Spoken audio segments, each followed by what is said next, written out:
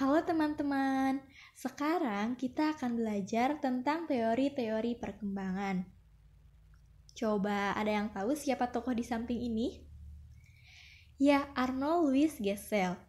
Beliau lahir tahun 1880 dan meninggal tahun 1961. Ia adalah seorang ahli fisiologi dan dokter anak asal Amerika Serikat. Nah, Arnold Gesell ini memiliki sebuah teori yang disebut dengan maturasi.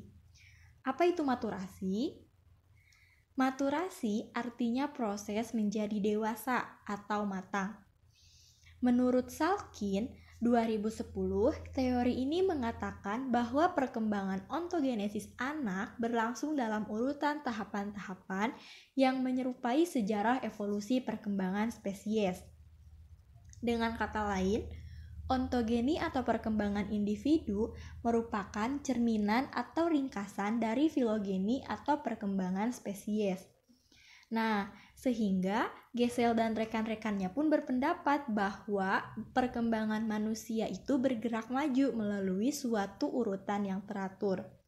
Dan urutan itu ditentukan oleh sejarah biologi dan evolusi spesies.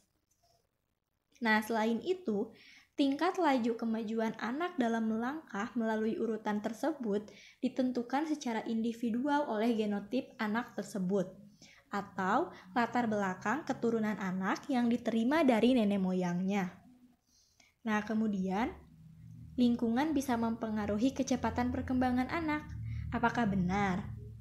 Nah, Benar sekali, seorang anak yang berkembang dengan kecepatan lambat dibandingkan anak-anak pada umumnya tidak bisa diubah dari arah yang sedang ditempuhnya.